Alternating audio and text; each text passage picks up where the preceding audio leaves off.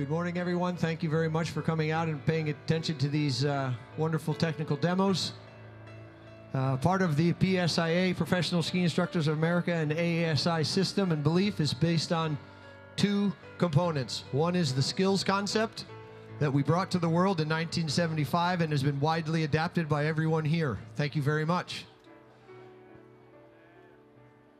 Our skills concept is based in the ability to do things to the ski, turn the ski, tip the ski, and bend the ski, all within having balance as both a source and an outcome.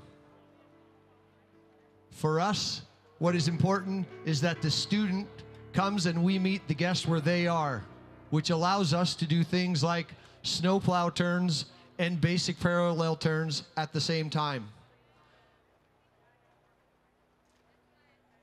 We have Stephen and Brenna in the first group showing that variety, that the guests dictate how we can blend our skills and get the meet the guest needs.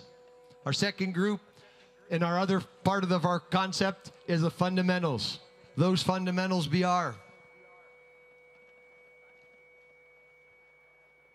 controlling the relationship in the center of mass. The base of support is directing pressure to the length of the ski, controlling pressure from ski to ski, and directing pressure towards the outside ski. Control edge angles through a combination of inclination and angulation.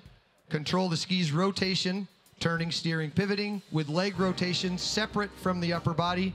Regulate the magnitude of pressure through ski snow interaction. Thank you very much. We will continue our philosophy on our second run. Aquí tenemos Argentina.